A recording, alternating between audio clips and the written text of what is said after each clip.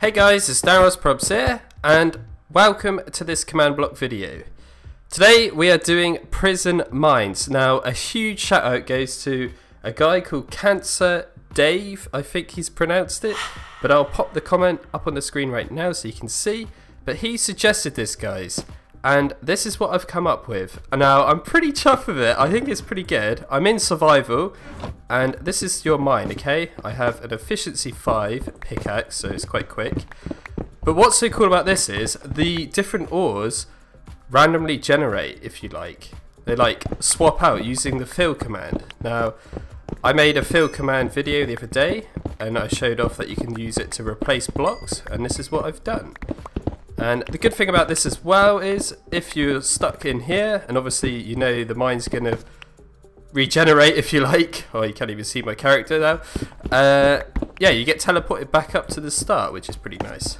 But it's only on a minute and a half timer. Yes, this isn't really, you know, oh, there we go.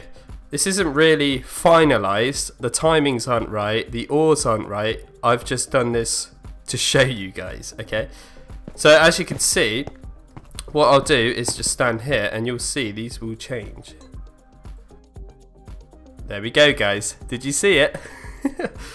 it won't change loads, but it will make a difference if you're actually mining.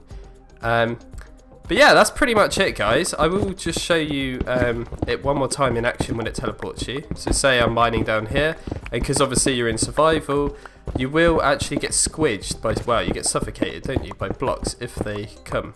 Because if you know what I mean, if they get replaced, and you'll be stuck down here, and you'll be like, uh, uh, uh, dead. But yeah, I'll just wait for it. Oops, I fell free. There we go. I've been mine reset. And as you see up there, that is the cloning side of it. Okay. So let's get into the commands. And what I'll do is hop into game mode C, obviously to show you them. And yeah, I will speed this up as well so you can see it in action. So over here is just the commands, okay? So what we got here is a hopper clock system, okay? Now what this has in here is one item that just flicks either side like that. That obviously activates this torch or deactivates it as you can see here and then that flows those items through. I need to break this or else I'm going to get teleported. There we go. That was just a teleporting one there. but what is that that that is doing then is obviously setting this line of commands off and then setting this line of commands off.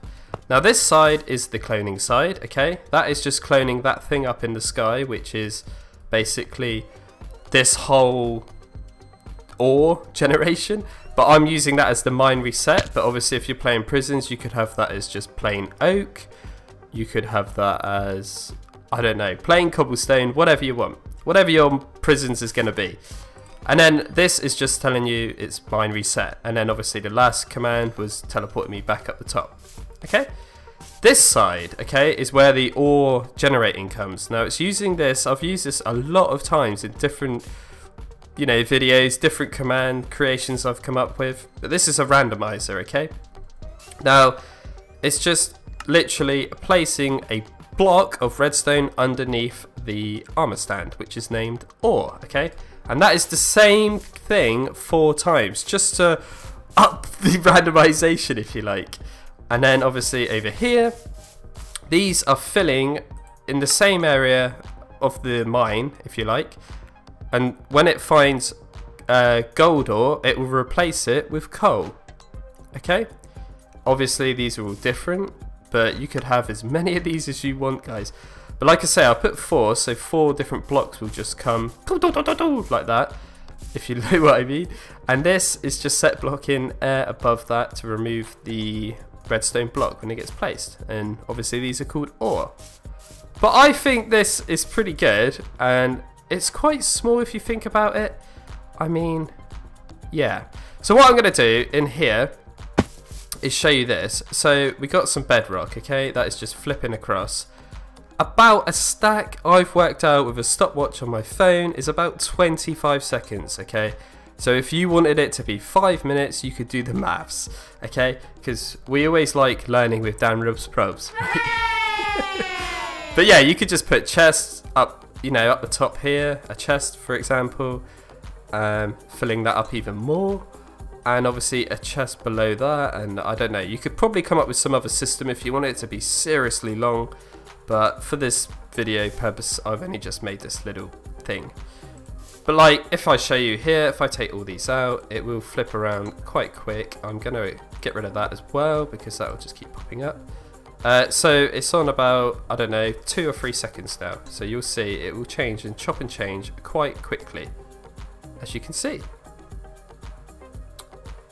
So all in all, I think that is pretty good. It's 100% multiplayer friendly because the teleporting you can just put it at, at E, uh, at A, sorry, and obviously you get teleported back here.